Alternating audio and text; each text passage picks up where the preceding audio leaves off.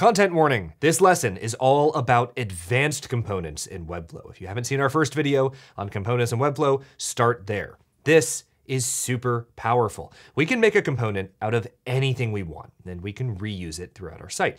But what if we took this all a step further? And we put a component inside another component. More importantly, why would we do that? In this lesson, we'll create a component, we'll nest it inside another one, we'll edit that nested component, we'll cover properties on nested components, and we'll even show how to control content on a nested component from the parent component. A section title that Stacy ensures will get simplified by the time we go to post-production. First part, let's make this button, it's just a link, a link block with stuff inside. We'll just right click on it and create a component. And let's give our component the name of button. Hit return, component. Let's move on to nesting components in other components. So we have this component here, and now that this button is a component, let's add another one, but this time to the navigation component. Double click to edit, now we're editing the nav component, go over to components, and there it is. Let's drag this new button component into the nav bar. So how do we nest a component in another component? Exactly like that. And now that we have so much extra time left in this section, let's show a different example.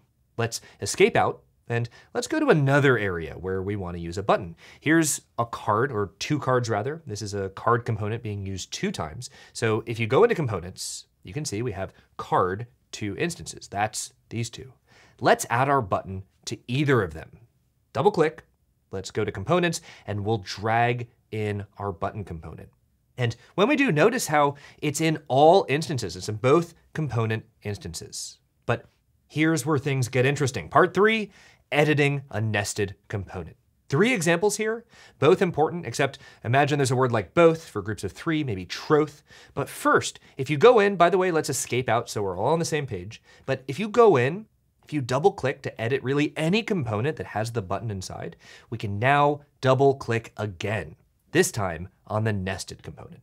And now that we're editing the nested component, we can change stuff. Change something like the text to not say button.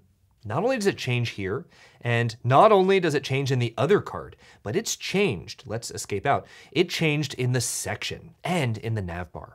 And that's the key. When you're editing a component that's in another component, it's no different than when it's not nested. Let's prove that. Example two, our first button component. And as we know, this is just in a normal section. It's not in another component. We can double click it. We can make a change because yes, sign up is supposed to be two words, not one word when it's written as a verb. But let's go back to why we're doing this. We made this a component. So anywhere we use it can have the updated content and structure. That's why we're using components and not just relying on classes for styling. So for our last example, let's swap out the image. And we'll do that by selecting something that makes a bit more sense than the existing one. And once we do, we can see that it's replaced. That image is replaced in all instances, whether it's nested inside another component or it's just a component like the one that's in the section. That image is replaced in every instance of the button component. And that's our third and final change in this section. Again, what we're demonstrating isn't any different in terms of the behavior you would expect from editing any component. It just so happens that some of these components are nested inside other components too. TLDR, a nested component, so far at least, is exactly like a standard component. It's just living inside another one. So if that's part three, what is part four all about? Part four is about change, individuality, every button not being the same.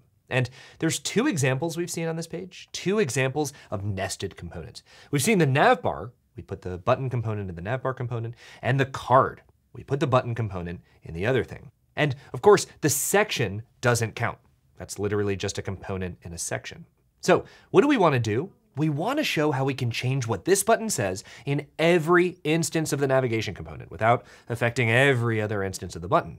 We don't want it to affect the section. We don't want it to affect the cards, just when this button is nested inside of a navbar.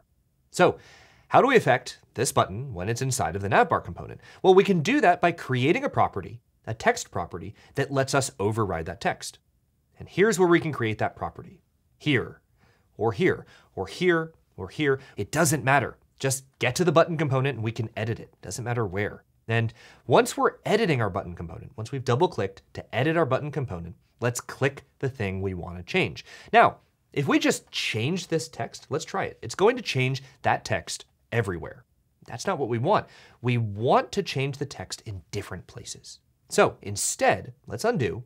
With the text selected, let's go over to element settings. And we can see the default text, but instead let's press next to it in this little plus and we'll create and connect the property. Names keep things organized, so let's just skip past this part because let's be honest, this lesson's getting a bit tedious. And instead, we'll spend our energy demonstrating how now that we've added a property to the text, we can now perform magic. Let's escape out of literally everything. And if our goal is to change the button text, but only when the button's nested in the navbar component, let's show what happens when we do. And just to demo that this is real, let's copy and paste the navbar, Double click to edit the navbar component and check this out. We can actually double click now right on the text inside the button. We're not actually editing the button component, just that text we created a property for. And just like that, the text itself is selected. Let's change it to something like download. And there it is. When we finish that change and when we escape out, it's updated in every navigation component, but it's preserved the default stuff everywhere else. And if we go down to the section, because we added that property on the button text, we can override it here too. Double click, type something out. Again, it only affects this instance.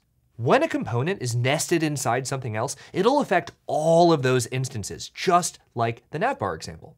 So just to prove that, let's do that on the cards as well. Double click to edit the card component. And if we change the text, we'll just double click to override the text in this button. Notice how it changes the text only in buttons when nested inside of the card. That's the hierarchical whatever. Properties let you override. They literally let you set properties on any instance of a component. When that component is on its own, like in the section, changing something like the text, it only affects that one button component, that one instance of the component. But when it's nested, when that component is nested inside another component, when we make a change to the button component, it'll affect that button every time it appears inside that parent component. This takes us to our final, our last and final part, and that's multi-dimensional components. Now, multi-dimensional components build on everything we've covered so far with nesting, but they essentially create what scientists call a wormhole between a component property on a nested component, let's call that a nested component property, and its parent component. Let's call that its parent component. And here's exactly how it works. Let's double click to edit the parent component. We'll edit the card component. Then let's select the button component. Remember, we already created a property here, and with the component selected, we can go over to element settings. And this time, we're gonna click the plus, but this time when we create and connect a property, it's going to connect this property to the parent component, to the card. Now, why is that important? Well, if we escape out, because let's be honest, it's taking a lot to hang in there, and if you've made it this far, congratulations, you deserve a medal. What kind of medal? A medal that says you successfully linked a component property of a child component to its parent component. But here's what we unlocked by doing that. On any instance of this parent component, we can just double click on the text and change it to something else. And notice how now it only affects this instance of the card. Now, this is a lot. With great power comes great responsibility. Is that relevant to this lesson? No, but here's what is. We created a button component that doesn't just keep styling consistent, but because it's a component, it keeps content and structure consistent. We could swap out images, change the order. That's the beauty of components. Content and structure are kept consistent. Of course, after that, we showed that we can nest components inside other components, that we could edit nested components, which by default, it's just like editing any other component. We showed how we can create properties that let us change things on components, which when nested inside other components, will stay consistent in each instance of that parent component. And when we do that, we can also go in and link back that property from the child component to the parent component and make changes that only affect that instance. Now, this stuff is advanced. That's why we had a disclaimer at the top. But let's take a quick moment to celebrate two things. One, we made it to the end of the video. Unless you skipped, we'll be looking at analytics. It's possible you're one of many. But two, we should also celebrate that we use the word component 97 times. But that's nesting components inside of other components. and that was number 99.